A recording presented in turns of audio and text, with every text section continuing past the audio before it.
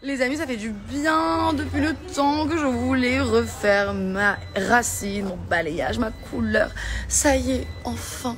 Et en plus, je suis trop contente parce que à toutes celles qui galèrent à trouver un coiffeur le dimanche, eh ben Patrick et Marcel, ils ouvrent maintenant le dimanche.